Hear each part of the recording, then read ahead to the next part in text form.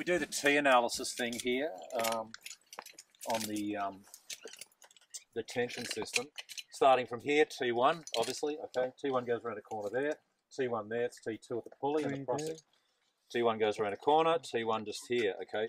Um, so, Adam, your question about do, do, we need a second Prusik there? No, we don't, do No, we? Because what's that holding? That's T1 right, That's right. one unit of tension. Okay, yeah. So, uh, interestingly, at the anchor, it's T2, isn't it? So when we if we're thinking about force, because every one of those is going to be different. All three of those anchors are holding a different load, basically different T value.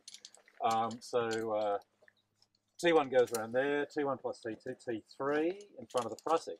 T3 goes around the forward pulley. T3 there. So it's T6 at the tandem Prusiks. Very good.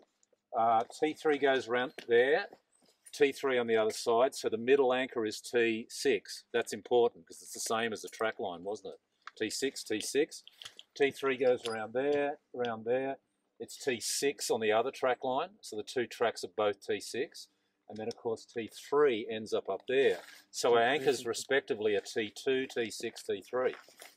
They're all different than one another, okay, yeah uh, the load cell thing works purely by virtue that if we plug the load cell in there, because we know that's T6, it's the same value as the track line.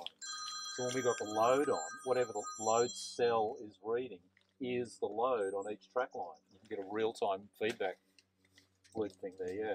So if our, um, say our, our, our line in the sand is two and a half kilonewton that we're aiming at, we don't want to exceed that on the system, we can be tensioning with the load out on the system. Someone's looking at the load cell, at the enforcer or whatever, and as soon as it gets to that threshold, you just go stop pulling, and you know you're there. Takes the guesswork. There is no guesswork. Mm. You're actually looking at it. Yeah, that's kind of neat. isn't it?